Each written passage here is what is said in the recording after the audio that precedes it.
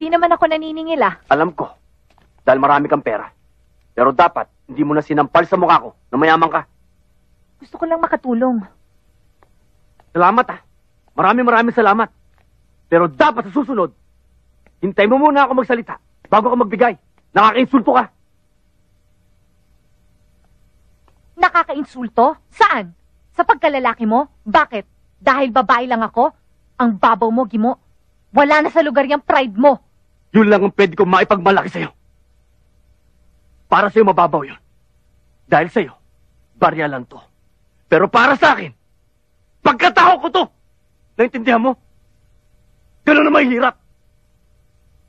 Hindi mo nga pala maintindihan yun. Dahil wala kang alam! Salamat ha. Maraming salamat.